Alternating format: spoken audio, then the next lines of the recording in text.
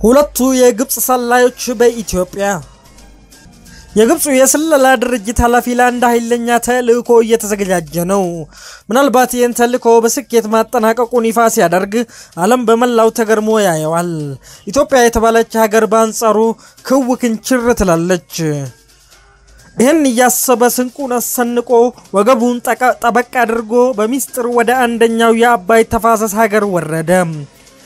ሜጀር ጀነራል ሳሚ ሰብር ኢልደጉ ይባላል። የፈርዖናዊ ስለላ ድርጅት የበላይ አዛዥ ነው። ጥቁር እንግዳ ሆኖ የተከሰተው ለወትሮ የሀገሩ ቀንደኛ ተቃውሞ ወደ ሆነች ሀገር ነው። ለዛም ነው ከካይሮ ሲነሳ ወገቡን ጠበቅ ማድረግ ያስፈለገው። ሰውየው ከወቴውን አድርቆ ካምፓላ ገባ። ሐሳቡ ሰመረ። ከዩጋንዳው የወታደራዊ መረጃ ክፍል አዛዥ ጋር አንድ ውል ተፈራረመ። ብዙዎችን ያስገረመና ግራ ያጋባ የስለላ መረጃ ውል። በአባይ ጉዳይ ግብፅን ከሚቃወሙ ሀገራት መሃል ዩጋንዳ ግንባር ቀደሟ ነበረች። የነጭ አባይ ምንጭ የሆነችው ዩጋንዳ እንደ አልቂት ተጣብቃ አባይን በምትመዘምዘው ግብፅ ላይ ተቃውሞ በማድረግ የሚደርስባት አልነበረም። ዛሬ ታዲያ ምን ተገኘ? እንጃ። የብዙዎች መልስ እንጃ ነው። ኢትዮጵያ የህዳሴ ግድብን በመገንባቷ ምክንያት ከግብፅና ከሱዳን ጋር የገጠመችው ውዝግብ በናረበት በአሁኑ ወቅት የካምፓላና የካይሮ መንግስታት ወዳጅነት እስከ መረጃ ልውውጥ መድረሱ ለአንዳንድ ታዛቢዎች አስገራሚ፣ ለሌሎች አነጋጋሪ ሆኗል። ትላንት በስቲያ ማምሻ ካምፓላ ላይ በወጣው የጋራ መግለጫ መሰረት ግብፅና ዩጋንዳ በጣም ጠቃሚ ያሉትን መረጃ በየጊዜው ይለዋወጣሉ። ዩጋንዳን መንካት ግብፅን መንካት ነው ሲልም ሰላዩ ኢትዮጵያን በእጅ አዙር አሳስቧል። ሌላኛው ሰላይ ሙዚንገር የዛሬው ተንኮል መነሻው ኬት ነው? አጼ ዮሐንስ ወደ ስልጣን ሲመጡ ኢትዮጵያ ዳግመኛ ወደ ዘመነ መሳፍንት አዙሪት እያመራች ነበረ። በመሆኑ የአጼው የውስጥ ፖሊሲ ማዕከላዊ መንግስት ለመፍጠር ጸረ መሳፍንት ትግል መቀጠል ሲሆን የውጭ ግንኙነት ፖሊሲያቸውም ተመሳሳይ ሃይማኖትን ከሚከተሉ የአውሮፓ አያላን መንግስታት ጋር ግንኙነትን በመፍጠር ለውስጥ ፖሊሲያቸው ማስፈጸሚያ ቁሳዊና ሞራላዊ ድጋፍ ማግኘት ነበረ። ወዳጅ እንደሚሆናቸው ወደ ሀገሮች ደብዳቤና ገጸ በረከት እያዘያዙ መልእክተኛ በመላክ ዲፕሎማሲያዊ ግንኙነት የማጠናከር ተግባር አከናውኗል። ግብፅ የኢትዮጵያን የውስጥ ፖለቲካ ክፍፍል ለራሷ ፖለቲካ ዓላማ በመጠቀም የአጼ ዮሐንስ ተቀናቃኝ የነበሩ የውስጥ የፖለቲካ ኃይሎችን በትጥቅ፣ በሀሳብ፣ በሞራልና በቁሳቁስ በመደገፍ ሀገሪቱ በፖለቲካ ውጥንቅጥ ውስጥ እንድትገባ ለማድረግ በርትታ ትሰራ ነበረም። ለዚህም ስለ ኢትዮጵያ ጠንቅቆ የሚያውቅ ሙዚንገር የሚባል ሰው ቀጠረች። ሙዚንገር ምጽዋና ከረን ውስጥ ነጋዴ ሆኖ ለረጅም ዓመታት ኖሯል። ከአካባቢውም የአንድ ጎሳ ባለ አባት ልጅ አግብቷል። ለንግድ ወደ ሀረር እየተመላለሰ አካባቢውን በሚገባ አጥንቷል። ብዙ የኢትዮጵያ ብሔረሰቦችን ቋንቋም ተምሯል። በኢትዮጵያ የነበሩ ወደ አርባ የሚሆኑ አውሮፓውያንን አጼ ቴዎድሮስ አስሮ በነበሩ ጊዜ በዲፕሎማሲያዊ ድርድር ለማስፈታት ለመጣው የእንግሊዝ መልእክተኛ ቡድን መንገድ በመምራት ስንቅ በማቅረብና የአካባቢውን ሕዝብ በማስተባበር እንግሊዞችን በማገዙ በእንግሊዞች ታማኝነትን ተጎናጽፏል። በጀነራል ናፔር ወረራ ጊዜ ከወራሪው ኃይል ጋር አብሮ ዘምቷል። የናፔር ጦር ከኢትዮጵያ ሲወጣ ይህ የሰይጣን ፈረስ የሰይጣን ቁራጭ አጼ ዮሐንስ የሰጡት ስም ነው ኢትዮጵያ ውስጥ ቀረ። አጼ ዮሐንስን ገና ደጃዝማች ከነበሩ ጊዜ ጀምሮ ተዋውቋቸው ወዳጅ አድርጓቸው ነበረ። እሳቸውም ከብዙ የውጭ መንግስታት ጋር በማስተዋወቅ እንደሚረዳቸው በመገመት ዓላማቸውን እስከደገፈ ድረስ ከሰይጣንም ለመዋዋል ወስነው አቅርቦት ቆዩ። ሙዚንገር የማያውቁ የአውሮፓ ባለስልጣን የማይወዳጀው መሪ እንደሌለ በቅቤ አንደበቱ በእሳት መላሱ እያቀለጣቸው የአጼው ፍጹም ታማኝ መስሎ ገባ። አጼ ዮሐንስ ከነገሱ በኋላ በራስ ማዕረግ የቦጎስ የሀባብና የመንሳ አገዢ አድርጎ እንዲሾሙት ለምነዋቸው ነበረ። ግን አልተሳካለትም። እዚህ ላይ አጼው ብልጥ ሆኑ። የፈረንሳይ መንግስት በአፍሪካ ቀንድ ቅኝ ግዛት የመፍጠር ፖሊሲዋን ለመተግበር አካባቢውን ጠንቅቆ የሚያውቅ ሰው እየፈለገች የነበረችበት ወቅት ስለነበረ ፖለቲካን የማዛባትና የመፍተል ችሎታው ከፍተኛ የሆነውን ሙዚንገር ራሱን በራሶቹ አድርጎ አቀረበ። የፈረንሳይ መንግስትም በደስታ ተቀበለው። ከዚያም ሙዚንገር በኢትዮጵያ የፈረንሳይ ካቶሊክ ሚስዮናውያን አስተባባሪ ሆኖ ተሾሙ። ሚስዮናውያን የወንጌል ሰበካን ችላ እንዲሉና የፈረንሳይ መንግስት ኢትዮጵያ ውስጥ ፍላጎቱን የሚያራምድበትን የፖለቲካ ስትራቴጂና ስልት እንዲያሰላስሉ ያበረታታቸው ጀመረ።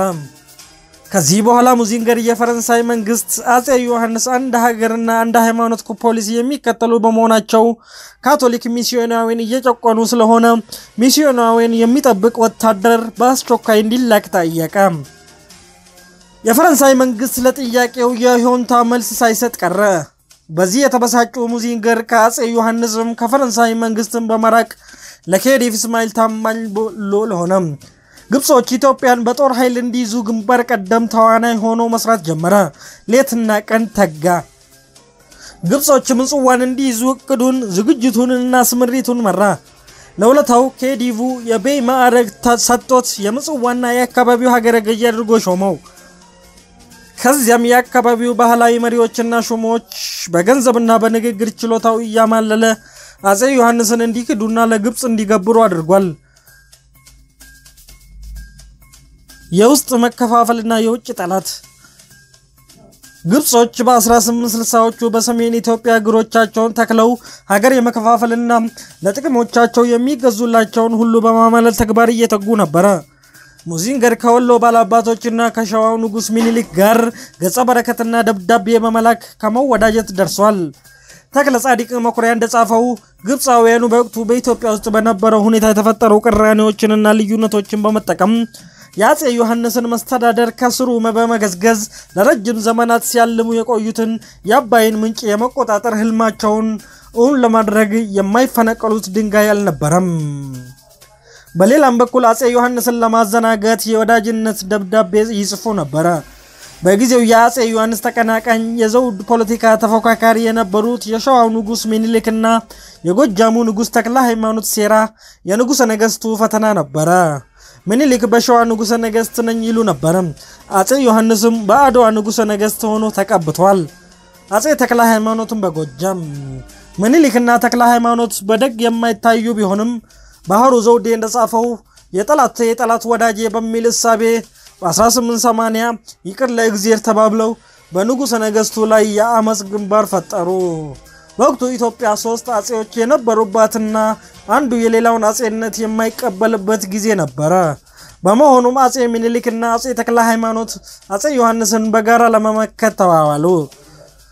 ግብጾች ይህን የውስጥ ክፍፍል ለራሳቸው ዓላማ ለመጠቀም ሲሉ ከምኒሊክ የወገኑ መስለው ቀረቡ።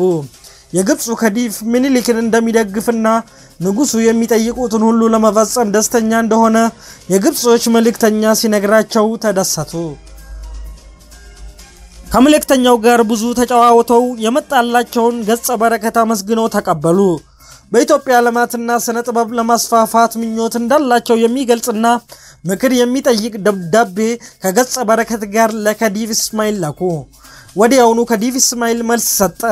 ነገር ግን የመስል ደብዳቤው በስህተት ከምጽዋ ለአጼ ዮሐንስ ደረሰ። አጼ ዮሐንስም በግብጾች የተያዘባቸውን የቦቦስ ጊንዳና መንሳ ግዛቶች ጉዳይ ምንም ሳያነሱ ከግብጾች ጋር እንደሚስማሙ መልስ ሰጡ። ይህም በግብጾች ዘንድ የፖለቲካ ብዥታ ፈጠረ።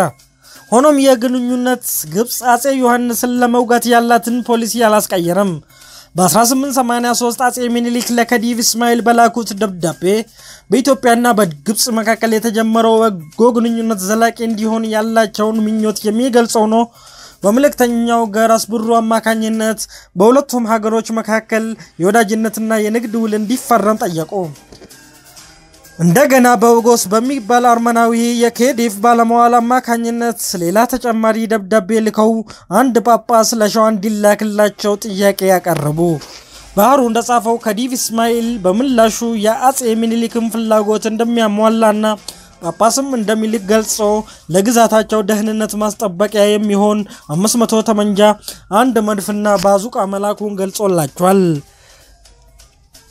በግብፅና በሸዋ ሚኒሊክ መካከል በተፈጠረው መቀራረብና መወዳጀት ምክንያት የግብፁ ከዲቭ እስማኤል አጼ ሚኒሊክ ከሱ ጋር በመወገን አጼ ዮሐንስን እንዲወጉ ፍላጎት ስለነበረው ነው። የግብፅ መንግስት ኢትዮጵያን በቀኝ ለመያዝ ምንም አይነት ፍላጎት እንደሌለው በመግለጽ ነገር ግን አጼ ዮሐንስን አስወግዶ ምኒልክን ለማንገስ እንደሚፈልግ ደብዳቤና ገጸ በረከት እየላከ ያግባባ ነበረ። አጼ ሚኒሊክ ምንም እንኳን የአጼ ዮሐንስን ንግስና ለራሳቸው የማድረግ ምኞት ቢኖራቸውም የግብፅ ገዢዎች ብዙ ሀብት አፍስሰው ጉልበት ጨርሰው እና የዜጎቻቸውን ሕይወት ከፍለው ኢትዮጵያን ከአጼ ዮሐንስ አሳልፈው ለሳቸው እንደሚሰጧቸው ቃል ሲገቡ በልባቸው ያለው ሀሳብ ኢትዮጵያን የመቆጣጠር ፍላጎት እንደሆነ ሚኒሊክ በሚገባ የሚያውቁ ቆቅ ነበሩ። የግብፆች ፍላጎት መንታ ነበረ። ይህም ከዮሐንስ መወገድ በኋላ ቀኝ ኢትዮጵያን ወይም በግብፅ ሞግዚትነት የምትገዛ ኢትዮጵያን ለመፍጠር ነበረ። ራሳቸውን በቱርክ ሞግዚትነት ስር በነበሩበት አይነት ሚኒሊክ ይህን እንዲሆን ስላልፈለጉ ለእስማኤል ፓሻ የግብፃውያን ወዳጅነታቸው እንደማይጠቅማቸውና እንዲያውም የእነሱ ወረራ እንደሚያሳስባቸው የሚገልጽ ደብዳቤ ላኩ። ከዚህ በኋላ ከግብፅ ጋር ያለው ግንኙነትም ይበልጥ በስጋትና ጥርጣሬ ላይ የተመሰረተ ሆነ። ግብጾች ጸረ አጼ ዮሐንስ አቋም የነበራቸውን እንደነ ልጁቤ ደጃዝማች ወልደ ሚካኤል ራስ አራያ እና ሌሎችንም በማስታጠቅ ገንዘብ በመርጨትና ከጂዎችን በማንዳነት በማሰማራት ጸረ አጼ ዮሐንስ ግንባር በማጠናከር ለንጉሠ ነገሥቱ የጎን ውጋት ሆኑ። የአጼ ዮሐንስ መንግስት ከውስጥም ከውጭም እጅና ጓንት ሆኖ በተነሱ ጠላቶች ተወጠረ። ካዲውና የውስጥ ቦርቧሪው ሁሉ የጦር መሳሪያ ለማግኘት ሲል የሀገርን ሚስጥር የሚሸጥ ሆነ። ከዚያ አጠቃላይ የውስጥ ፖለቲካ የተነሳ ግብጾች የአጼ ዮሐንስ መንግስት እጅግ የተዳከመና በቀላሉ የሚወድቅ አድርጎ በመገመት በእጅ አዙር ከመውጋት በቀጥታ መውረርን መረጡ። የግብፅ ወራሪዎችም በጦር ሜዳ ገጥመው ድል በድል ላይ የተጎናጸፉትና ግብጾች ኢትዮጵያን ለመቆጣጠር የነበራቸውን ህልም ያመከኑት አጼ ዮሐንስ ወደ ጦርነት ከመግባታቸው በፊት ከውጭም ከውስጥም ጠላቶቻቸው ጋር ሰላም ለማውረድ ያደረጉት አስተውሎት የተሞላበት አያያዝ የሚደነቅ ነው።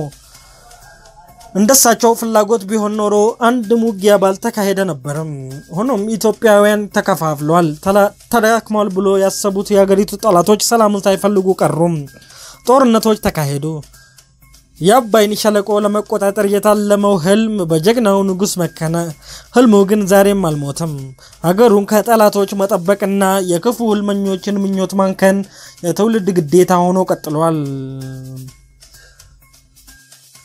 ታሪካዊ መረጃውና ምክሩ የዶክተር አርከበ አቦታ ነው። የተከበራቸው የማብል መረጃ ቤተሰቦች በሌላ መረጃ እስከምንገናኝ ቸርን ሰንብት።